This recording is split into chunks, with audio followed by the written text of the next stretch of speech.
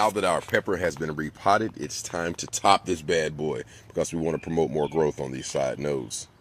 Couldn't find my shears, so we're rocking with the multi-tool today. I'm going to clip it at about the 10th node from the bottom. Yeah, great cut, right?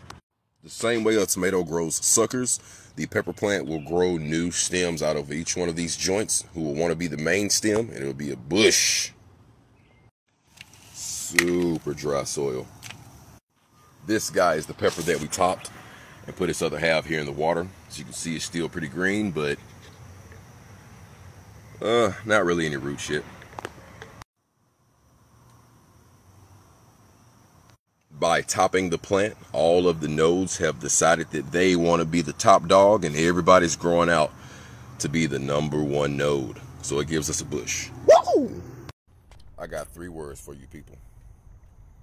Yeah, yeah, yeah. If you recall, this is the pepper that we topped about a week or so ago. And look at that. Cheese Louise. Since topping it, each node is fighting to be the main node, and your plant ends up growing out instead of up. Prune your plants. You won't regret it.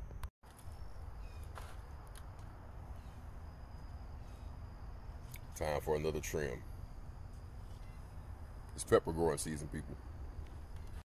Our pepper plant is looking good and turning into the bush that we wanted it to, and it's time for another trim. This one is already splitting into two separate nodes, so we'll leave it alone. This guy has come a long way, so we'll give him a quick snip. Right there. Give me a moment and I'll finish up. Why not? Now all of the lower hanging leaves have been trimmed and all of our tops have been chopped.